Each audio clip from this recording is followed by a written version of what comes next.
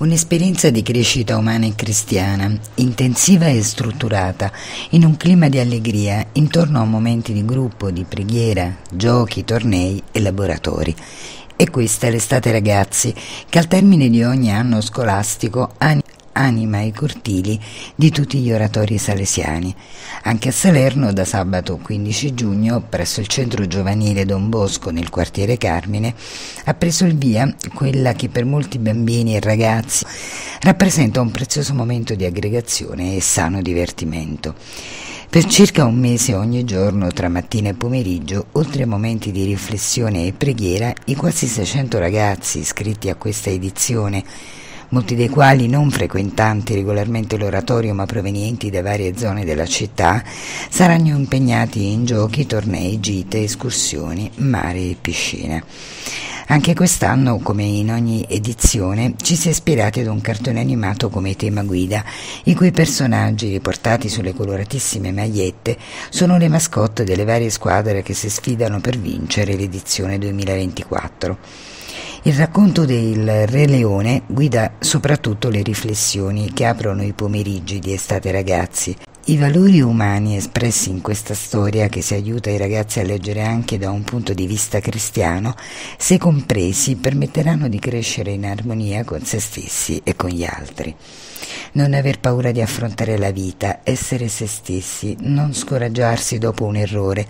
l'importanza del perdono che conduce alla riconciliazione, l'importanza dell'amicizia, il valore della diversità.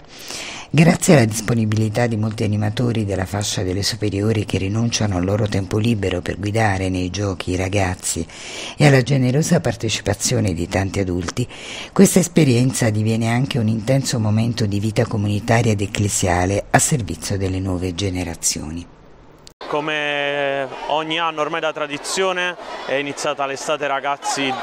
eh, un momento di grande aggregazione per tutti i giovani del quartiere e non solo della città. Quest'anno gli iscritti dalla terza elementare alla terza media sono quasi 600 più tanti eh, animatori giovani che collaborano, animano e aiutano per portare avanti questa esperienza. Per noi è importante questa attività estiva eh, in quanto permette ai ragazzi e ai giovani di essere presenti qui all'interno dell'oratorio, di vivere un periodo, quello estivo, che di solito è caratterizzato no, dalle eh, poche cose da fare in maniera attiva, grazie ai momenti di formazione, grazie alla possibilità di incontrarsi con gli altri e quindi crescere come voleva Don Bosco nell'amicizia tra di loro e nell'amicizia con il Signore Gesù.